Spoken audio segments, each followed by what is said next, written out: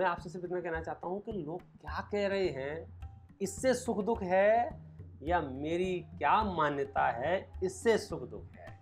तो असली सुख दुख तो मेरी मान्यता से है, लोगों के कहने नहीं कहने से नहीं है। इसलिए आज से आज़ाद हो जाओ, स्वतंत्र हो जाओ। जिसको जो कहना है, कहे। जिसको जो सोचना है, सोचे।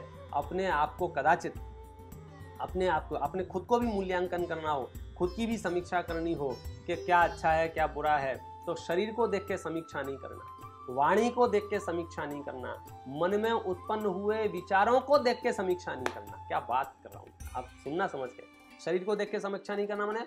शरीर लोगों को सुहावना दिख रहा है या असुहावना दिख रहा है, इससे सुख दुख का कोई संबंध नहीं है, क्योंकि जो सुहावना शरीर दिख रहा है, उसकी भी राख बननी है, और जो असुहावना दिख रहा है, उसकी भी राख बननी है। दोनों की जाति एक पुद्गल है, दोनों की जाति एक औदारिक है।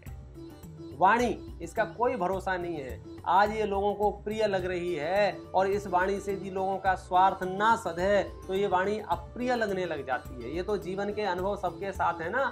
कि हम कभी किसी के लिए बहुत प्रिय हुआ करते थे और कभी किसी के लिए बहुत अप्रिय हो जाते हैं। और पहले जिनके लिए अप्रिय हुआ करते थे उनके लिए प्रिय हो जाते हैं, शास्त्रों में साफ़ लिखा है, शत्रु मित्र बन जाते हैं, मित्र शत्रु बन जाते हैं। इसलिए इस वाणी पर मत जाओ। आप समझना, शरीर के आश्रय से सुख दुख की कल्पनाएँ मत करो। वाणी के आश्रय से सुख दुख की कल्पनाएँ मत करो और मन में भी जो विचार आते जाते आते जाते रहते हैं कर्मों के उदय से, जिनको कर्म औपाधिक भाव बोलते हैं, उनसे भी मत करो। तो किससे करूँ?